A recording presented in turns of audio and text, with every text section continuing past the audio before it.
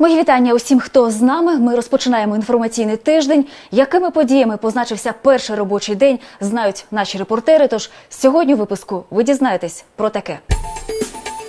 Таможня дає добро. Український сир, російське табу. ДТП, наче землетрус. Головна новина понеділка. Центральна виборча комісія оголосила офіційні результати позачергових виборів глави держави. П'ятим президентом України став Петро Порошенко. Він набрав 54,7% голосів виборців. До виконання обов'язків Порошенко приступить вже найближчої суботи, 7 червня, коли й має відбутися інавгурація. А тим часом таможня дає добро. Вінницька митниця розпочала видачу бланків сертифікатів на товари українського походження, що експортуються до держав Європейської асоціації вільної торгівлі. До неї входять Швейцарія, Норвегія, Ісландія, Ліхтенштейн. Про новації при отриманні дозволу на експорт у матеріалі далі. Європа відкрила свої ринки для українських товарів. Тепер в Ісландію, Ліхтенштейн, Норвегію та Швейцарію вітчизняні виробники поставляють їх без мит. Донедавна сертифікати на експорт видавала торгово-промислова палата України. Тепер це робитиме управління міндоходів після того, як виробник підтвердить походження товару. Це е, довідку про виробництво товару, також про підприємство згідно статуту, чим займається, які товари випускає, технологічний процес виробництва товарів, а також повинен надати всі первинні документи, для, е, на підставі яких здійснювалася закупівля е, матеріалів, комплектуючих та сировини для, для виготовлення товару. Новацією процедури став статус уповноваженого схваленого експортера. Отримати його може лише зареєстроване в Україні підприємство з незаплямованою репутацією. Товар має бути повністю вироблений на Україні, тобто без використання іноземної сировини. По-друге, в підприємства має бути відсутня податкова і митна заборгованість. Е, По-третє, підприємство має бути у працівників підприємства мають бути відсутні адміністративні правопорушення протягом року до дня звернення до митних органів. Бланки сертифікатів Вінницька митниця вже отримала поки що 100 екземплярів. Експерти кажуть, документ має кілька ступенів захисту, термін діє 4 місяці. У Міндоходів запевняють, сертифікати виробникам видають безкоштовно. Але сьогодні у Вінниці свій товар на європейський ринок постачає лише одне підприємство. Олена Гукулех Літвінцев, телеканал Віта. А от українським сирам в Росію зась Россільгоспнагляд знову сумнівається в якості цих продуктів. Пропонує ввести в російське законодавство термін і маркування сирний продукт та встановити загороджувальні мита на його імпорт. Але для цього потрібно повністю заборонити віз сирів, що не містять молочного білка і жиру, переконані в санітарній службі. Сучасні технології дозволяють замінювати їх пальмовими жирами та казеїном. Однак маркується продукція як натуральний сир і продається за відповідною ціною.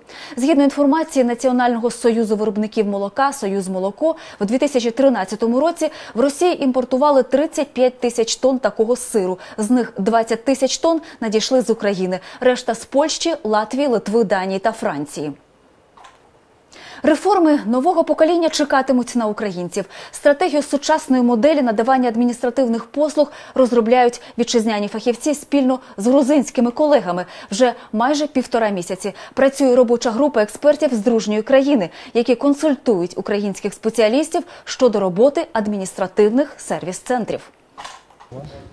Наразі закордонні менеджери вивчають досвід вінницьких прозорих офісів. До міста приїхали разом з новим головою Державної реєстраційної служби України Ганною Онищенко. Гості наголошують, результатом перетворень має стати викорінення корупції та бюрократії. кажуть, на те є політична воля сьогоднішньої влади. Вместе с Министерством юстиции, вместе, вместе а, вице-премьером Гройсманом, вместе с, а, с премьер-министром мы все это как бы к стратегию разработаем. Но самое главное, нам нужны быстрые результаты. И сегодня я очень рад, что и правда в Украине как бы есть команда, которая вот эти результаты хочет по- по- по- как бы показать своему населению. Представники грузинської делегації вважають, якість обслуговування громадян покращить розширення переліку послуг. Натомість кількість документів для їх отримання варто зменшити. Серед побаченого у Вінниці гості відзначили цікаву, на їхню думку, систему документообігу. В перспективі планують юридично закріпити роботу державних реєстраторів в прозорих офісах, а також розмежувати спеціалістів на тих, які приймають документи, та тих, хто безпосередньо надає послуги. Зараз ми працюємо в робочій групі і з Гройсманом.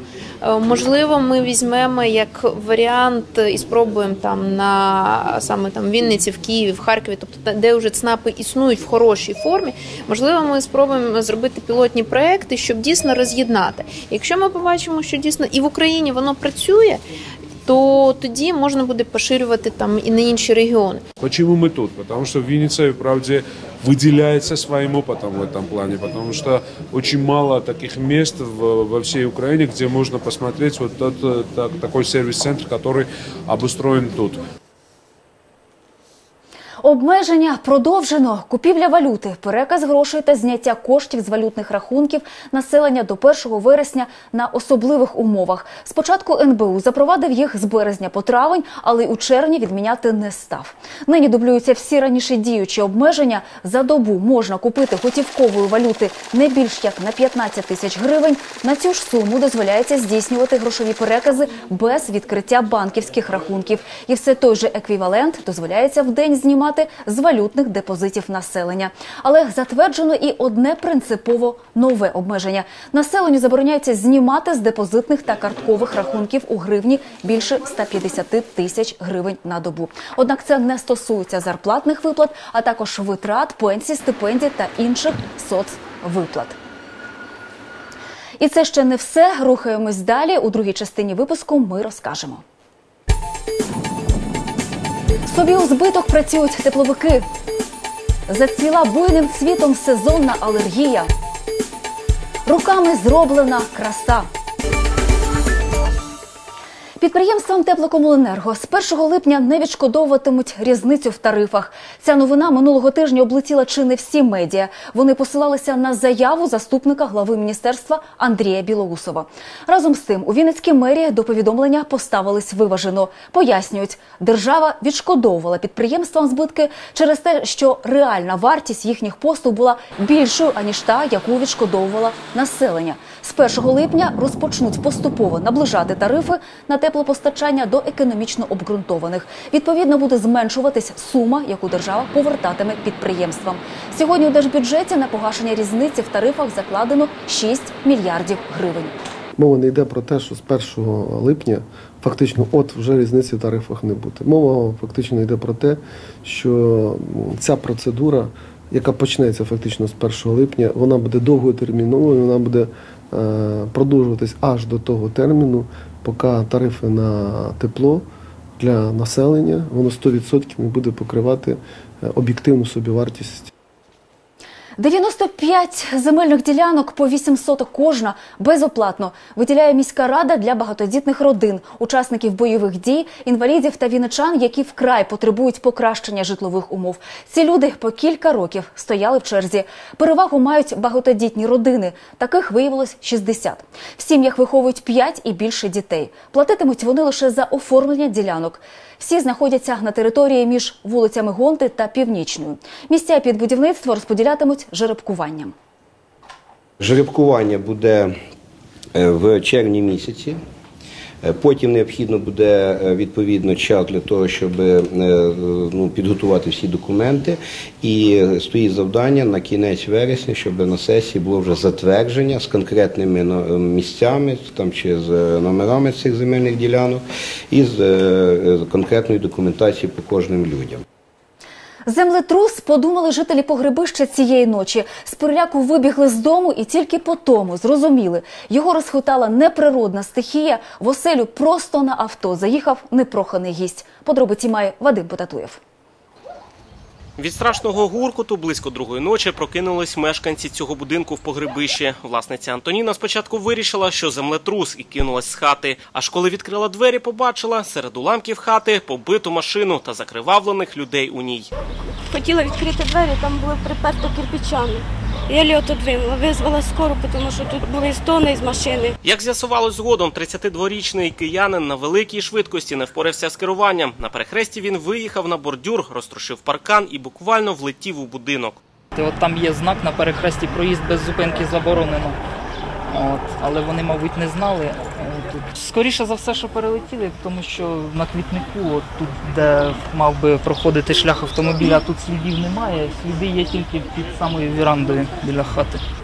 Водій даного автомобіля, а також е, пасажирка. Пасажири були доставлені у лікарню. Водія лікарі діагностували перелом руки та стегна. Один з трьох пасажирів отримав черепно-мозкову травму. Зараз слідчі відкрили кримінальне провадження, встановлюють, чи не був власник мерседесу за кермом на підпитку. У разі як доведуть, йому загрожує або штраф, або арешт строком до трьох років. Вадим Пататуєв, телеканал Віта.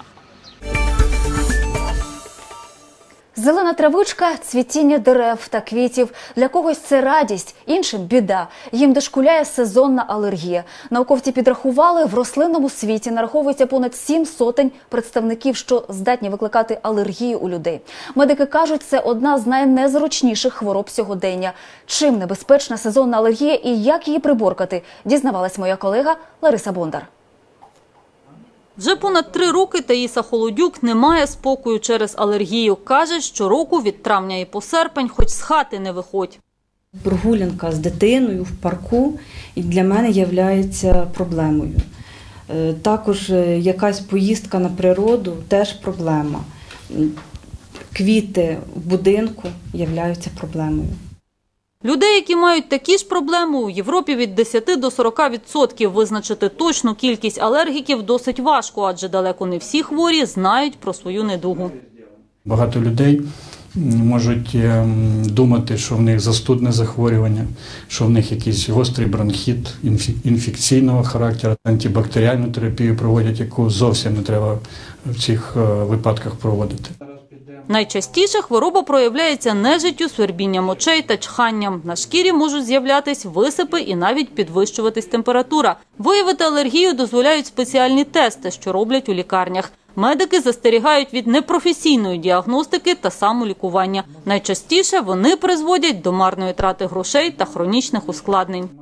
У половини людей по статистиці, які хворіють нібито безпечною нежиттю алергічною, у них е, ну, статистично рахується так, що десь приблизно через 5 років у половину, у половини цих людей формується бронхіальна астма. Одним із найефективніших методів лікування алергії є імунотерапія або спеціальне щеплення. Його проводять раз на рік протягом 3-4 років. Сьогодні, окрім ін'єкцій для щеплення, також використовують спеціальне драже. Тоді людина через деяке время адаптується до цього алергену і перестає на нього реагувати. Сезонні спалахи алергії викликані цвітінням деяких рослин. Розпізнати збудник вінницьким науковцям допомагає спеціальний уловлювач. На його фільтрі осідає весь пилок, що літає в повітрі. Якщо людина е, якимось чином уникає контакту з алергеном, вона таким чином е, може і уникнути симптомів. Тому наша задача це профілактична. В першу чергу виявити, що літає, тобто на початку розповісти про це і таким чином профілактувати виникнення симптомів у людей.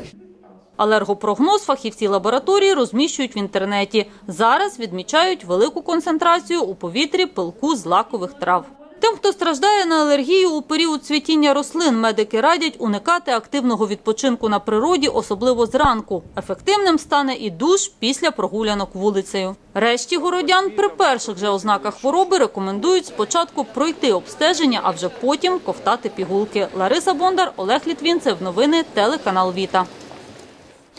Податок для туристів почав діяти в Єгипті. Відпочивальникам, які прибувають в аеропорти Олександрії, Південного Синаю, Хургади, Луксора і Асуани, тепер треба заплатити по 7 доларів на розвиток країни. Виняток аеропорт Марса Алам, та й то на 6 місяців.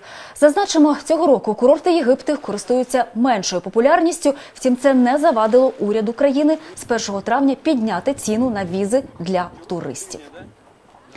Наші руки не для суму. Так про себе говорять учасники виставки Подільська народна іграшка. На ній майже півтисячі робіт. Більшість творіння дітей. Тут і ляльки-мотанки, іграшки з природних матеріалів та картини. Все це бачила Тетяна Орлова. Я люблю а, створювати образи людей, і більшість моїх робіт все ж таки показують певну е, історію певної людини. Малювання, ліпка, аплікація. 14-річна Олександра просто захоплюється мистецтвом. За п'ять років в її домашній колекції зібрався не один десяток робіт. Та найбільше дівчинці подобається працювати над графікою, батіком і писати картини маслом. Маслом, тому що це дозволяє зробити роботу абстрактною, дозволяє показати колір і емоції. А графіка, тому що це дозволяє показати ті деталі, яких не видно у повсякденному житті. А батіком, тому що малювати на тканині це завжди приємно і набагато легше. Е, Звільняється душа, очищається, і ти викладаєш на тканину усі свої думки. Те, що творить Олександра, зазвичай дарує друзям та рідним, але з деякими роботами не розстається, як от зі своєю першою картиною з текстилю Берегиня літа. Над нею юна майстриня працювала місяць. На картині зображена дівчина з рижим волоссям.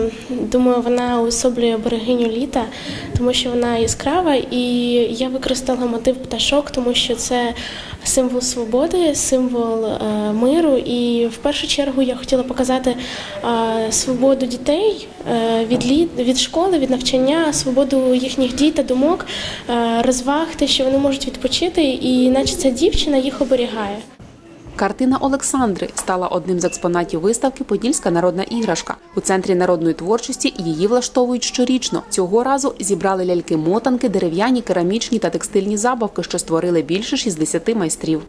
Тепло і цінність несе іграшка, та яка зроблена руками мами, руками старшої сестри, руками майстра, тому що майстер вкладає туди свою любов, свою теплоту, свою енергетику.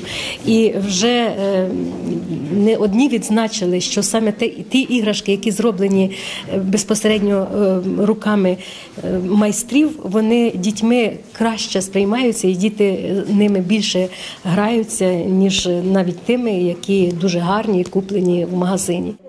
Експозиція вийшла масштабною біля півтисячі робіт, створених в народних і сучасних техніках. Їхні автори початківці та майстри з досвідом. Переконані, відродження автентичних ремесел не просто дане на моді, це збереження українських традицій та історії. Тетяна Орлова, Вадим Інжиєвський, Володимир Гірявенко, телеканал Віта.